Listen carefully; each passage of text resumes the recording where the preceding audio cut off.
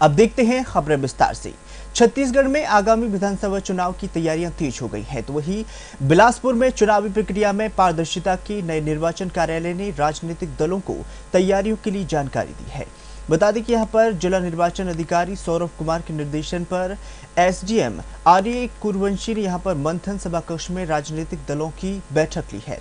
बताना चाहेंगे कि एसडीएम आर्यक कुरुबंशी ने यहाँ पर मतदाता सूची पुनरीक्षण और मतदान केंद्र में चुनाव आयोग के निर्देश की जानकारी लेकर ही सहयोग की अपेक्षा की है।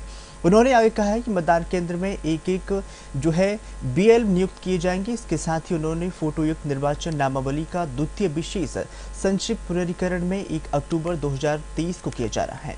बताना चाहेंगे कि 25 मई से 30 जून तक जो है बीएलओ घर घर जाकर ही मतदाताओं से सीधा सत्यापन करेंगे। इसके साथ ही मतदान केंद्रों पर युक्तिकरण की कार्यवाही 24 जून से जो है 24 जुलाई 2023 तक होगी। बताना चाहेंगे कि फ़ोटो युक्त निर्वाचन में नामावली का प्रारंभ प्रकाशन 2 अगस्त को किया जाएगा। इसके अलावा ही यहाँ पर प्रत्येक मतदान केंद्रों में 2 अगस्त से 31 अगस्त तक मतदाता सूची में नाम जोड़ने और नाम विलोपन और संशोधन के लिए दबाव आपत्ति भी दी जाएगी।